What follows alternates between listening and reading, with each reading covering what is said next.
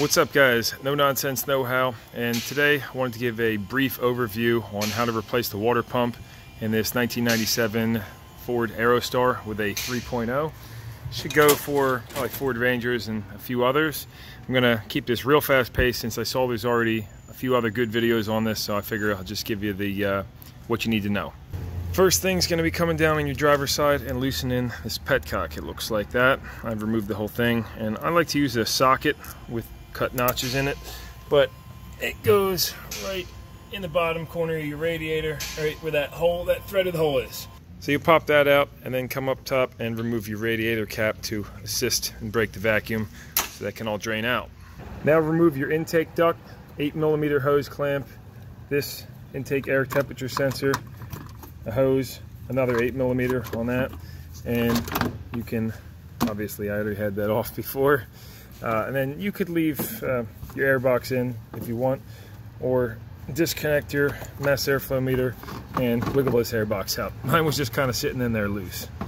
Now use some channel locks, remove this spring clamp on your upper radiator hose and tuck that up. You now need to get your fan clutch off. It's probably the toughest part of this job.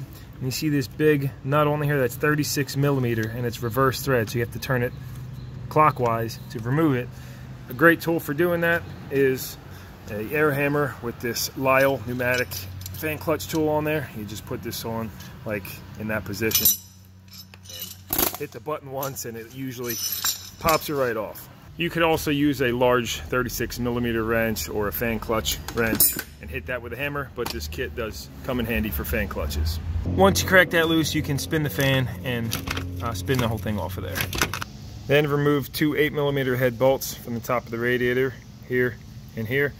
And your whole fan shroud and fan are gonna come out in one assembly, like so. Just gotta wiggle that baby out of it. Plenty of access now. And before removing this belt, crack each of these 10 millimeter bolts on the water pump pulley loose. So that way it's uh, not spinning and you don't have to worry about holding it so much. Make sure to draw yourself a diagram or come up under the hood and see if you have a belt diagram there already. Here's a good shot of that if you want to pause it in case you don't have one. And then you can see it shows you to put the wrench on right there and turn it counter, I'm sorry, clockwise. So we'll turn that clockwise. That relieves our tension and you can slide the belt off. I had to spray the pulley with rust penetrant and tap it with a hammer a bunch to get it to break the bond between the pump and the pulley. But with that off, can now remove this bracket and that's going to be 18 millimeter on this idler pulley and then three 13 millimeters one two and three third ones right there. Uh, so we can get that bracket out of the way and have better access to the water pump bolts. Now take your couple small hoses off by removing those clamps sliding them off I found on this one, it's easy to get a pry bar, long, long pry bar, and just kind of pry up. Just make sure on this radiator you don't damage anything, and uh, and it's not a bad idea to cover this with cardboard too when you're working on this. But you also have a crank sensor down here, so remove that, and boom, plenty of access except for the right side of the pump. So we do have to remove this uh, whole power steering bracket. Well, that was easy as pie just three 13 millimeters and that just comes right out of the way. You see those three 13 millimeter bolts in there. Good job Ford, that was very easy. Tie that off with a bungee cord, tucking it out of the way, and then remove all your 13 millimeter bolts on the water pump along with some 8 millimeter bolts also. Make sure to position your drain pan down beneath in case there's coolant left in there. And also take note that this one's got that mini stud. You got a stud on this one. It's best to keep these all organized and put them back in the same place they came out since sometimes they vary in length. That was five eight millimeter heads and then rest all the 13s I kind of left them in place pulled them out and I should be able to slide this straight out. Hits that nipple on the top a little bit. Right, boom. And let's see what this baby oh yeah there you go. So diagnosis was correct that's why this thing was over overheating. Wasn't getting any water pump flow. And you never truly know until you take it off. But see those fins just shredded right off from all the uh, acidity. Now this is what can happen when you don't change your coolant at all. You get major acidic coolant and that just rots everything away.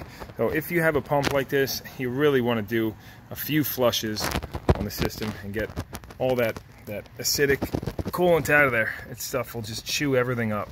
It even looks like it started etching the metal on the block, unless maybe the fins. Ah, it's probably from the fins coming off actually.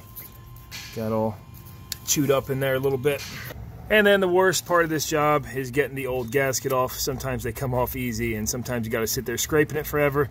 Just make sure you don't gouge this up too much. This is an aluminum housing, or is it cast iron? Yep, aluminum. So make sure you don't chew that up too much when you're scraping that gasket off. I used this gasket scraper and a razor blade to get the majority of it off. This could take you 10 or 15 minutes easily. Now, you don't want to scratch it, like I said, but most importantly, you want to make sure you get all those humps off there because it's better to have a gouge than leave a hump of the old gasket. Once you get it to that point, uh, I like to use one of these 3M bristle discs, it's a lock discs on the uh, die grinder, and I'll clean it up the rest of the way. And now I'm at the point where I have an acceptable surface to work with. I've cleaned this off with acetone. Everything's ready to go here. We're ready to put the new pump and gasket on and I'll just give you a couple notes here. Most important step is you see how these have this thread sealant on them?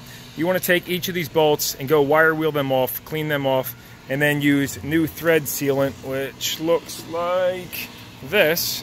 You could use this Permatex thread sealant with Teflon. You could use Teflon tape, or what I really recommend is just uh, covering them with the right stuff because basically those holes in the block they lead into the coolant passages and if you don't do this you might end up with coolant trickling past the bolt head. It shouldn't really go past the gasket but I mean inside of these blocks if you blow into these these aren't blind holes. They most of them actually go into the block so I just put it on every bolt just to be safe. And so you'll transfer those all into the appropriate slot even though they're all the same length. You have those couple with the studs and now on your gasket, some guys like to put these in just dry, which is fine, but I like to take an extra preventative measure and I use Permatex the right stuff. I rub just the tiniest film layer on the entire gasket on both sides. Not like a bunch, just a smear around the entire thing. Put that on, bolt it on, you will never have a leak again. I promise you. I've been doing it that way forever. You could skip this if you want, but the nice thing is if you did put any gouges in here or if it's not a perfectly smooth surface since you were cleaning it, uh, you're not gonna get any leaks. I've got all the bolts hand threaded in there, including the eight millimeter ones, RTV or thread sealant on the appropriate bolts or put on all of them if you want, but it only needs to go on the ones that pass through into the block and we're ready to torque this down. Of course, I opted to do the RTV on the gasket too. Now there is a torque spec on this and there's a sequence, but I don't have that handy right now since our computer is actually acting up and I saw mixed opinions online. So I always just use the German method of Guttentight on these, never had an issue. But if you're not familiar with torquing fasteners, definitely look up that spec. And if you find it, plug it in down below in the comments. Hugely appreciate that and I'll add it to the description for other people in the future. With those torqued, we're ready to put everything back together, reverse of how we took it apart. So starting with this bracket. Uh, you might notice I also cleaned this off with some emery cloth. Make sure you don't have any rust and pitting on that, not too bad. And if you see coolant in your wire connectors, like on this crank position sensor, make sure to blow that out. Not a bad idea to put a touch of dielectric grease on that connector and spray this down with acetone too so you don't end up with a squealing belt. I'm going to be putting a new belt on this too, but wherever you got coolant, make sure to clean that off and then I'll try and give you some other tips after I get this going together. Ready to drop the fan and shroud in and before doing so, make sure you double check that all your clamps and bolts, everything's tight. Uh, belt routing is proper and when you're putting this pulley back on of course it wants to freewheel on you so you can grab the inside of it with some large uh, slip joint or channel lock pliers to torque those down. And when you're dropping this fan in make sure they go in together like they came out and that these bottom tabs slide into the grooves down below. You should have steel clips on the bottom of the radiator that look like that. The fan clutch threads can be stubborn and get started but once you have that zip down put your uh, fan clutch wrench or this tool back on and just give it a few hits with the hammer or simply like this and that's going to be tight enough for that. Upper rad hose on, intake duct, clamps tight, wires all connected. Don't forget to put your petcock in and tighten that. And then you can fill her up. I really like using these Lisle funnel kits. It makes it easy to pour the coolant in and then burp all the air out. You can let that sit, gurgle away. I do recommend topping the system off completely before starting it. That way you don't dry start the water pump. These kits are great. They come with adapters for all the different radiators. Once the level's settled out, you can start her up. Then put the vent on heat, blower on high, and raise the RPM until you get good heat coming out of this and all the bubbles stop coming out of that funnel. I've ran that for 15 minutes. It's blowing hot. You can now take this stick, drop it right into here to block the bottom of that, and then pop this off. A little bit of coolant might spill out, but nothing came out that time. And then put your radiator cap on. You can see the coolant still has orange color, even though it's two and a half gallons of fresh coolant. Uh, the customer didn't want any additional flushing or labor for that, so uh, we're gonna leave it just as it is. Don't think he's gonna have a problem with that new pump. This thing's got 195,000 miles on it, so I doubt it'll live to see another 195. I think something else will probably fail before that water pump does. Don't forget to top your reservoir bottle off too. Make sure to bring that up to the high mark and you are done. You'll drive it, make sure it don't overheat. That's how you replace the water pump in this 1997 Ford Aerostar with a 3.0. I hope the video was somewhat helpful, even though I didn't uh, show you all the camera work the entire time, taking every nut and bolt. Here's a look at all the tools I used in this video, well, mostly everything. Here's all the adapters that come with that Lisle kit. Forget if I said it earlier, but I'll make sure to plug links to all this stuff, the pump, try and plug links to everything down below on Amazon. Do you need all these tools? No, but this all made the job very easy. Uh, like I said, definitely recommend the pneumatic fan clutch kit the Permatex the right stuff. This is the best RTV you're ever going to use. German engineered. This is like a Mercedes engineered product that Permatex brought uh, bought the rights to. This M12 Milwaukee ratchet. I've been using this for a few years now, and I love these so much. Worth its weight in gold. And yeah, a couple razor blades, some sealant. You got the rest. You know, speaking of other things that should be done on this job, it wouldn't be a bad idea to replace your thermostat. Uh, if your fan clutch is bad, this one actually has a newer fan clutch in it, but if you spin this and the fan spins uh, real freely or it's locked up, replace that fan clutch. And of course, your serpentine belt and anything else that looks like it needs attention. Like if your radiator hoses, these are original, but they seem in good shape. If they're uh, bulging or soft or dry rotted, make sure to replace them. Like usual, make sure to drop this a thumbs up, comment, any questions, definitely leave them down below. Check out those links in the description. If you get the time, consider checking out another video on one of my uh, another video on my channel or subscribing. And uh, until next time, this is Chris Brown here. No nonsense, no how. And I do hope I see you again. See you next time. Hey, Vågen det oste tro. Snabbas i ballen answer you person soon you back this there home folks met Wist the arbet oppa Lord customer.